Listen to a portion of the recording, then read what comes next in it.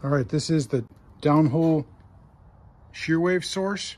The main body here has an expandable air-filled bladder that pins it into the casing. You can see it'll inflate here. And once that's holding it into the casing and it's stable, you pull on the top and this rod slides all the way through and this weight at the bottom impacts the body of the hammer and it's spring loaded so it stays in this position down unless you pull up against it till it impacts. Uh, conversely you can also pull it up gently till it hits the taps the bottom and then let it go suddenly to create an opposite polarity wave